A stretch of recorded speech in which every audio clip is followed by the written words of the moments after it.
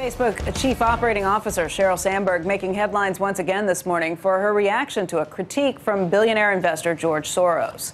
The New York Times reports that Sandberg instructed Facebook's communications team to investigate George Soros' finances after he bashed Facebook and Google during a speech in Davos. Sandberg reportedly wanted to know if Soros stood to gain financially from the attacks. A Facebook spokesperson tells, the, tells CNBC that the company was already beginning researching Soros, Soros's finances as a prominent investor before Sandberg's inquiry.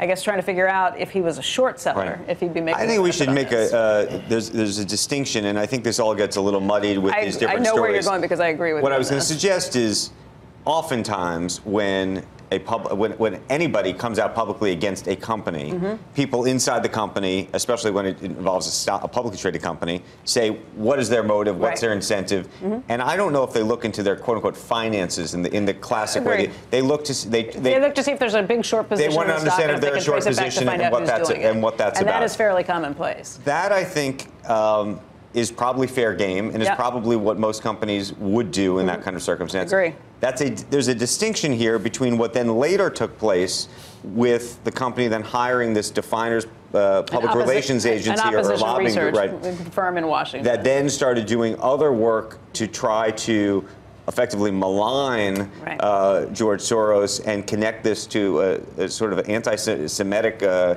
uh, approach. Something. Agree. And That's where we, we, we haven't discussed this at all, but I agree with you 100%. Uh, that was kind of what I, I was just reading this story this morning right. before the show started and trying to uh, find what the fine details are in it, and that's that's a difference. However, she has had to backtrack and say that she didn't know about this. Okay, some of that paperwork has come across my desk.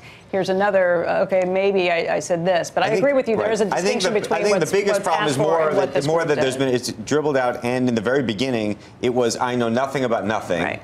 And and yes, it may be true that she didn't really appreciate what these definers uh, team was right. doing. Right. But then now there's evidence that she was she herself was interested in George Soros when it sounded like in the beginning she seemed to but, and that's, that's where the problem. It's the problem. It's like not having this information up front and not knowing what happened with it. Right. But I agree with you. Trying to find out if somebody who is trashing your company is short as a short seller is a fairly commonplace.